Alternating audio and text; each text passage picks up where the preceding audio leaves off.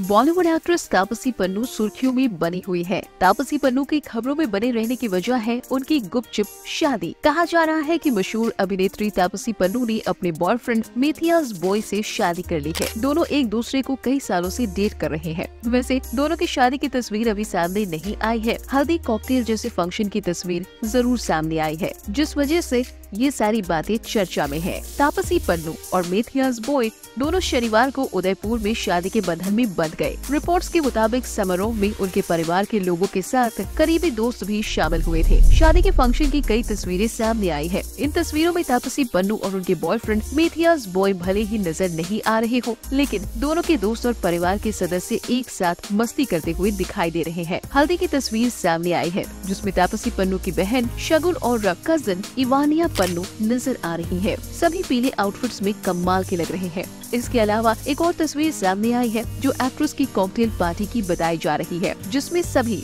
Shimmery कपड़ों में नज़र आ रहे हैं। फ़िलहाल आपको तापसी पन्नू की शादी की तस्वीरें कैसी लगी, हमें अपनी राय कमेंट में ज़रूर बताएँ।